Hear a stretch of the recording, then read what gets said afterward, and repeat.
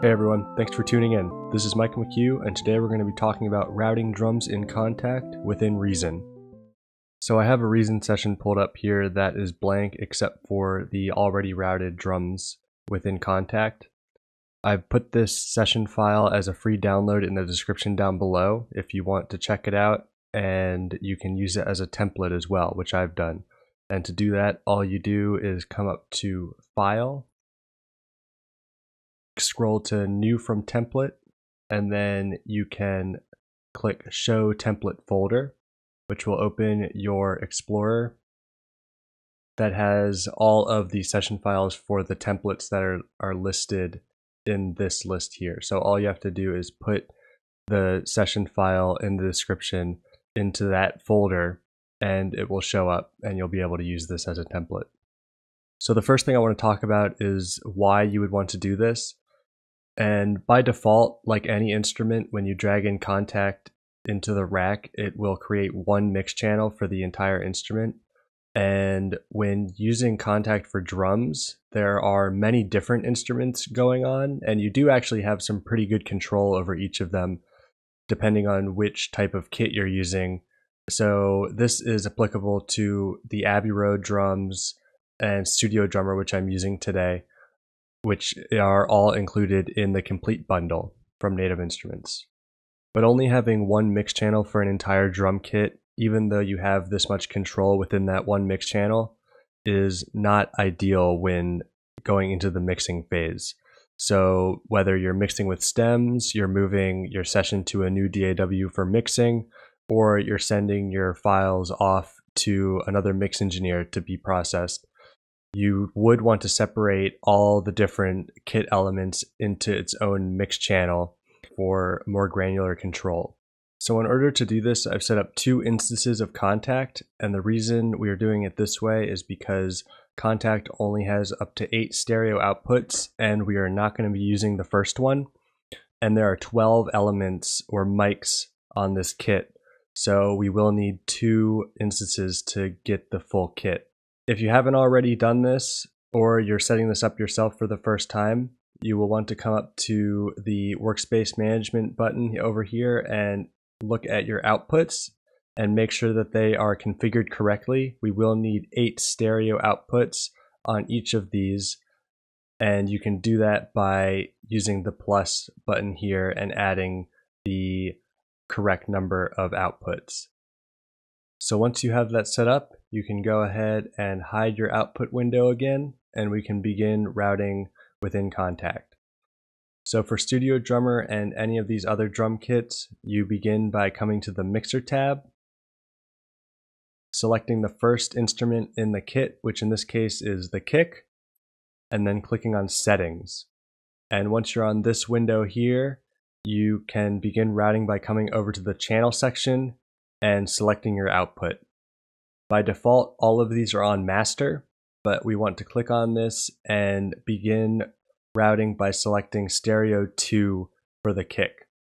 We are skipping stereo 1 because by default that will still give you the entire kit in one mix channel.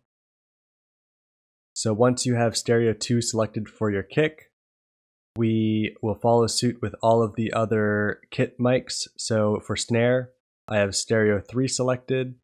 For hi-hat, stereo 4. Tom 1, stereo 5, etc. Up to Tom 4, which is stereo 8.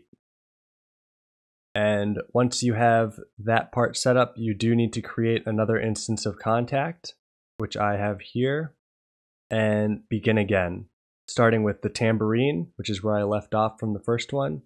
I have that set to stereo 2, woodblock is stereo 3, and then overheads, room, and then a mono overhead, respectively.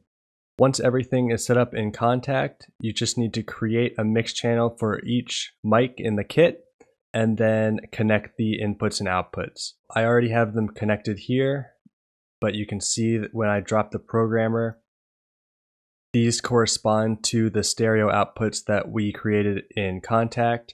This is stereo 1, which like I mentioned would give you the entire kit. Stereo 2, stereo 3, etc. all the way up to stereo 8. And So I have connected this optional audio out, which corresponds to stereo 2 within Kontakt, to the input of this mix channel and named it kick. And I've done that for every section of the kit. And you'll also notice on this very last one, the mono overhead, I've only connected the left or mono channel so that it remains mono. So that's basically it for the routing. There were just a few more things I wanted to show you guys to show why this might be useful. You'll notice that I have these two instances of Kontakt within a combinator, which in the sequencer allows me to still have only one track here to arrange my drums while still having mixer channels for each of the kit elements. So I've created a short loop here, which I will bounce down to separate mixer channels. So arranged in the sequencer, this is what it sounds like.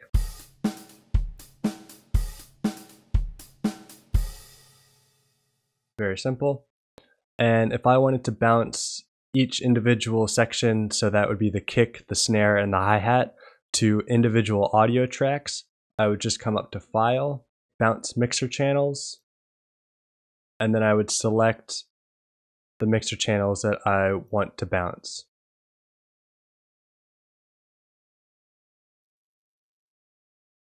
And now you'll see that my kick, snare, and hi-hat are all bounced out separately, which if I were moving to a different DAW or processing things individually, this would be very helpful.